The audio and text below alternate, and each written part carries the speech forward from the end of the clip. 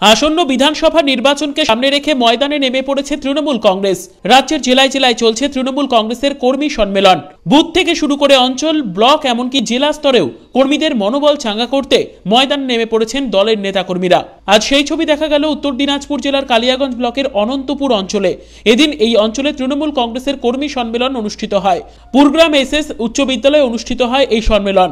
বুধভিত্তিক এই সম্মেলনের প্রধান বক্তা হিসেবে উপস্থিত ছিলেন উত্তর দিনাজপুর জেলা তৃণমূল কংগ্রেসের সভাপতি কানাইয়ালাল আগরওয়াল।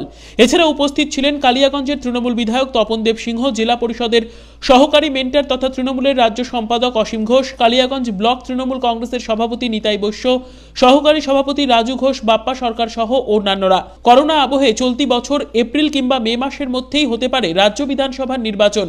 এই ভোটে বিজেপি এবং বাম কংগ্রেস জোটকে পরাস্ত করে কালিয়াগঞ্জের আসনে পুনরায় তৃণমূল কংগ্রেসকে প্রতিষ্ঠিত করবার আহ্বান জানানো হয় এদিনের সম্মেলনের মঞ্চ থেকে। সে কারণে দলের কর্মীদের সবসময় ঐক্যবদ্ধভাবে লড়াইয়ের ময়দানে নামার বার্তা দেন জেলা তৃণমূলের সভাপতি। এদিন সংবাদ মাধ্যমের মুখোমুখি হয়ে কানাইয়ালাল আগরওয়াল জানিয়েছেন, কালিয়াগঞ্জ বিধানসভা কেন্দ্রে দশ হাজার ভোটের লিডের লক্ষ্যমাত্রা নিয়ে এগোচ্ছে দল। মমতা বন্দ্যোপাধ্যায়ের উন্নয়নকে সামনে রেখেই দলের কর্মীরা প্রচারে নামবে বলেও জানান তিনি। বুথভিত্তিক কর্মসূচি সংগঠনের জন্য নেওয়া হয়। আমরা অঞ্চল সম্মেলন করছি। অঞ্চল সম্মেলনের পরেই আমরা বুথ সম্মেলন করব। এটা ঠিক সামনে বিধানসভা নির্বাচন আছে। কিন্তু আমরা সংগঠনটা খালি বিধানসভা নির্বাচন ভিত্তিক করি না। গোটা বছরই আমরা সংগঠনটা করি। আমাদের এখানে বুথ কমিটিও আছে, অঞ্চল কমিটিও আছে, ব্লক কমিটিও আছে, জেলা কমিটিও আছে।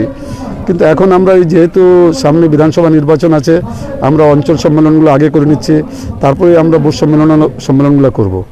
কালিয়াগঞ্জের বিধানসভা সিটটা আমরা এর আগেও ছাপ্পান্ন হাজার সাতশো, আমি যতন্ত নিজে লোকসভা আমি প্রার্থী ছিলাম। আমি ছাপ্পান্ন হাজার সাতশো ভোটে পিছিয়েছিলাম তারপরে আমরা সেই সিটটা জিতেছি। আর এবারে আমরা টার্গেট দিয়ে দিয়েছি, প্রত্যেকটা অঞ্চলে বলেছি যে সব মিলিয়ে আমাদেরকে দশ হাজার ভোটে কালিয়াগঞ্জ বিধানসভাটা জিততেই হবে। সেই হিসাবে আমরা বুথ সম্মেলন, বুথ কমিটিগুলো সাজাচ্ছি। বুথ কম, এরপরে বুথ সম্মেলনে নামবো। আমাদের এখানে সাংগঠনিক ভোট আছে। আমরা কোনো জাতপাত, কোনো ধর্ম, বর্ণ নিয়ে আমরা ভোট চাই না। আমরা ভোট চাই সংগঠনে, আমরা ভোট চাই মমতা বন্দ্যোপাধ্যায়কে দেখিয়ে। আমরা বলি সবাইকে যে আমরা মমতা বন্দ্যোপাধ্যায় যে কাজ করেছেন দু হাজার এগারোতে ক্ষমতায় আসার পরে, উনি মন কি বাত করেননি, কাজের কথা বলেছেন। অনুপ জয়সওয়ালের রিপোর্ট, কুলিক নিউজ, কালিয়াগঞ্জ।